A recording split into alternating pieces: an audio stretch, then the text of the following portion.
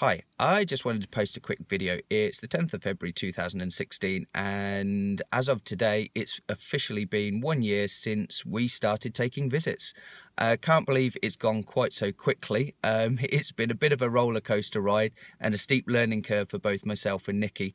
And we'd both like to pay a special thank you not only to our other halves, uh, Vic and Justin, uh, for being there for us for the last year and all of your help and support, but also just as importantly, a huge thank you to you as clients. Um, we genuinely are incredibly proud of what we've done here, and we couldn't have done it without you. So thank you very much. Um, I hope we can continue to provide the service that you want. We're always uh, listening and want to take advice and feedback. So please do get in touch with us if you think we can improve any more. Um, it's been fantastic to work with you and long may it continue. So um, I better get off onto some more visits now.